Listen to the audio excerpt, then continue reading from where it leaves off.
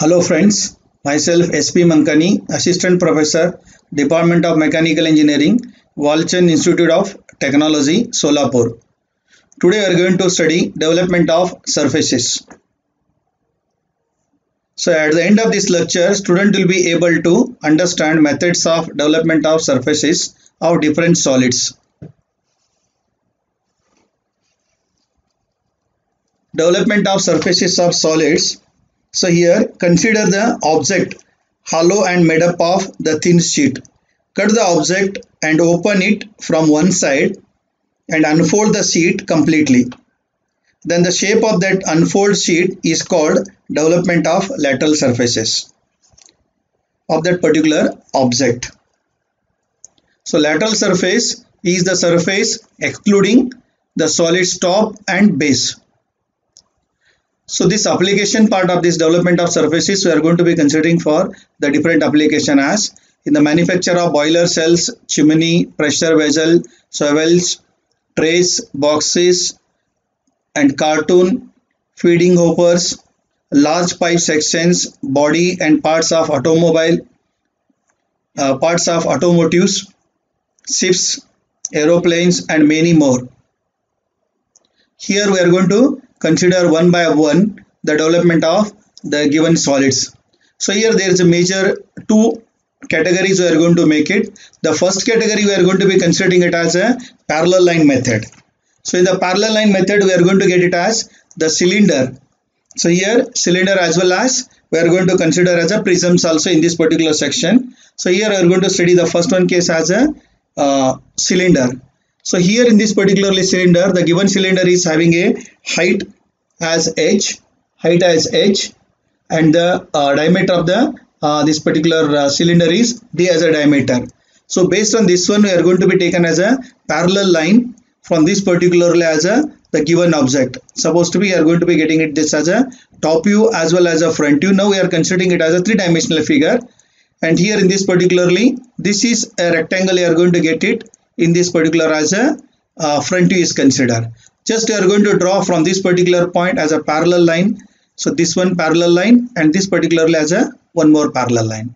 So this particular length is nothing but a uh, pi d. That is nothing but perimeter of this particular circle. Perimeter of this particular circle and d is the diameter. So based on that one, this are going to be taken as a pi d as a length of this particularly the rectangle.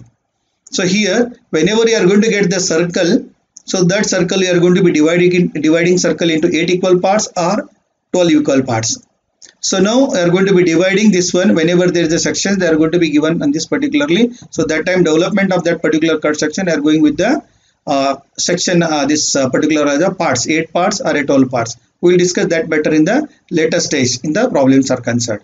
So now this is a h is a height you have taken this as a h and uh, this is diameter of this particular circle is given and based on that one you have taken this as a pi d length. This particular system are going to be calling it as a parallel line method. So in the similarly are going with the prism. I have taken only one example of this particular cylinder and one example of this particular as a prism is concerned. So here I have taken as a uh, uh, this particular as a pentagonal prism. So five sides are there and each sides the length they are given as a s is the length of each sides so based on this particularly the length of this particularly the sides. So you are going to be taken this particular length as here. So now we are going to make it as the total length is nothing but this s multiplied by number of sides as a 5. The 5 multiplied by this particular we are going to be taken as a total length of this rectangle and we are going to dividing this particular total rectangle into a 5 parts because it is a pentagon having as a 5 sides. So and it is having a height as a this particularly height as a h. So by taking this is a h as a height and the total length as is equal to 5 into this particular length as a s. I given the notation only s. In coming days we are going to be getting it as in the numerical as 20 millimeter, 30 millimeter like this. We are going to be multiplying that value with a 5 so that we can going to get this as the total length. So now based on this one we are studying only the pentagon part of it is concerned. This is a pentagonal prism only are going to consider it at this stage is concerned.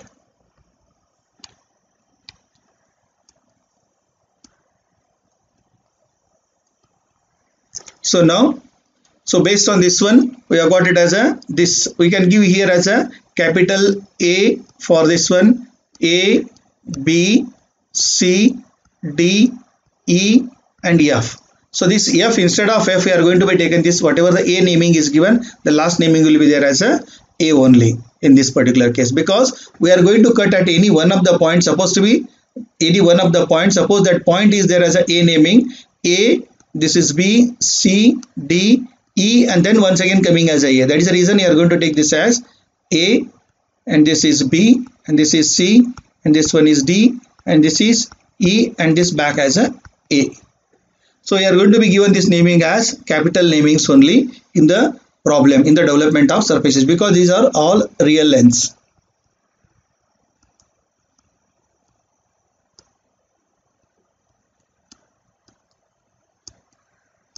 Okay, now we are going with the next one more set of the radial line methods. So here cone as well as pyramid we are going to be considering it in the case of uh, radial line method. So here it is a given cone. It is having as a diameter. This diameter they are going to be given in the problem. Based on that particular diameter, we are going to be utilizing one equation. Then we are going to uh, draw the diagrams. So here this is a given cone and this is having a diameter as a d as a diameter and this is a slant height as a l so this is the only one formula in the total graphics is concerned this is the only one formula we are going to be getting in the graphics. This is the only one formula. Theta is equal to r upon l into 360 so this gives the angle of theta. So that theta is nothing but this is. So now by keeping the compass here taking this much length by keeping the compass here and taking up to this much as a length this is L. So by taking that length we are going to be keeping anywhere as per your convenient. You can keep the compass and by this this as a radius draw this as a arc this particular as a arc you are going to be drawing it. So once you are going to draw the arc so then whatever the theta you have got it measure that angle theta here. So then you have to cut it for that particular theta angle. Then you can complete this one. This is nothing but a development of this one. The similar case here this is the development of this particular cylinder is this is the development of the given cylinder. And similarly this is the development of the given prism is this is a development. So now as far as the pyramid is concerned. In the next step we are going with a pyramid. So now it is cone. The development of the cone is this this particular part. So even we can whenever there is a cuttings are there that time we are going to get it as a different uh, this particular last number of sides whatever you are going to take it here the same number of division you are going to make it here also. Now the next case as pyramid.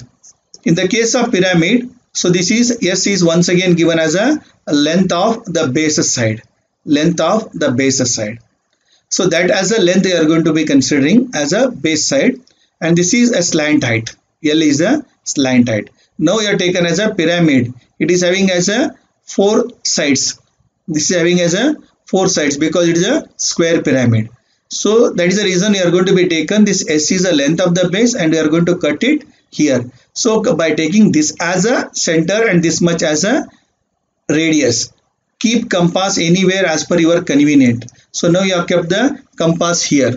So by this is particularly compass you have kept it and you have taken this length and by taking this as a length you draw this particularly as a arc okay so then by taking this s as a length of the particularly base side then you go on cutting here so one by one you are going to cut it here this is first one second one third one and this is fourth one.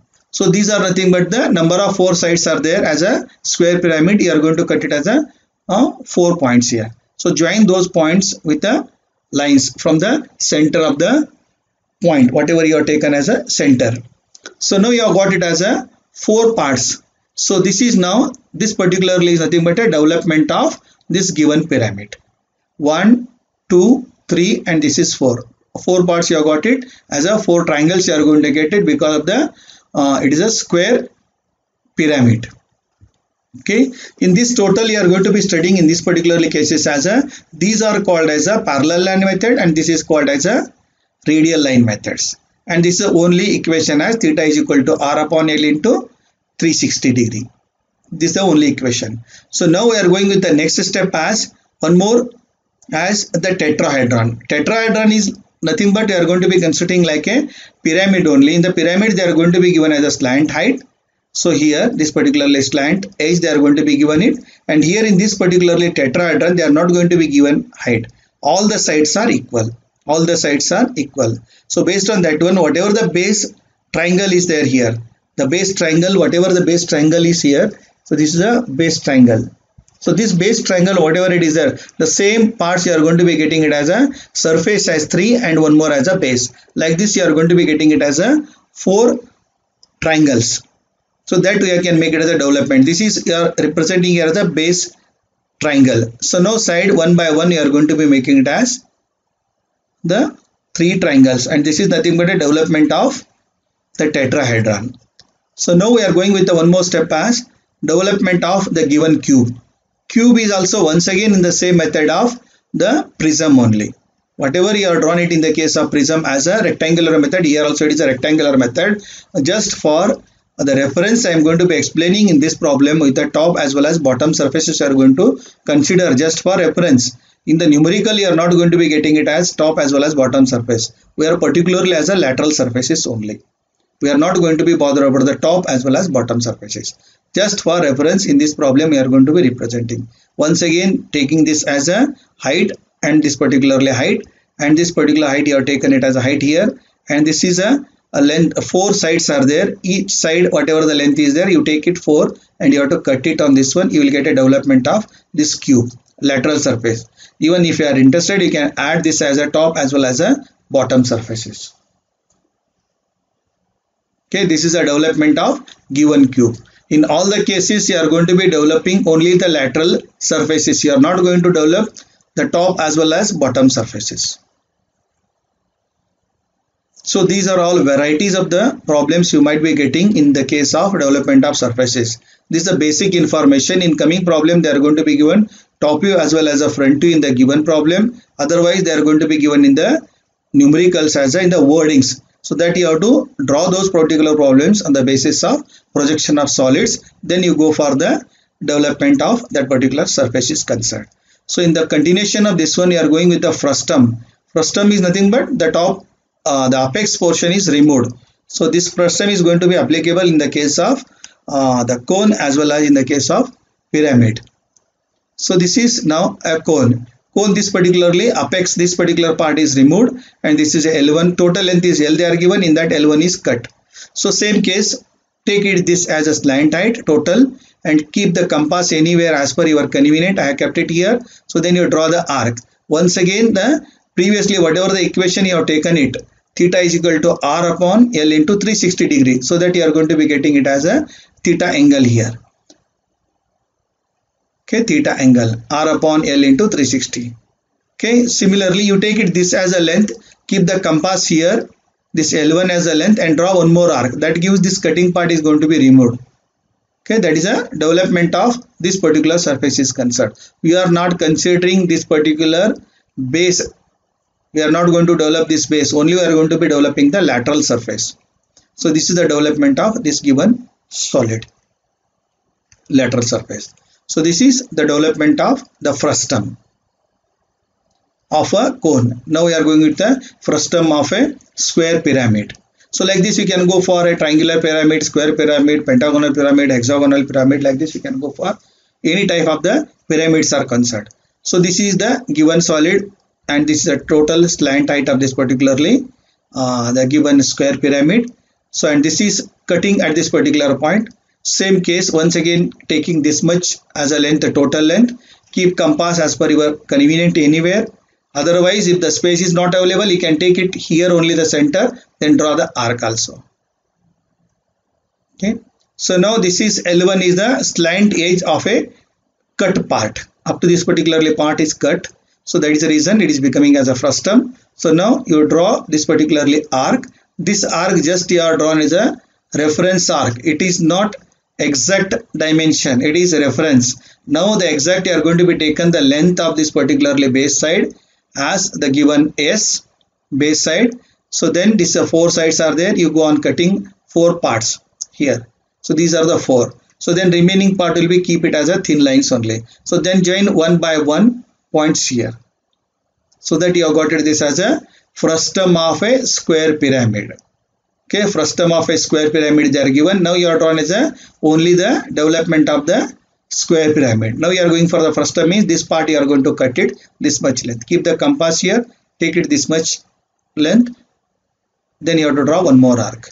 So similarly you measure this length. Then you go on joining those points. You will get it as the top side. You will get it this one.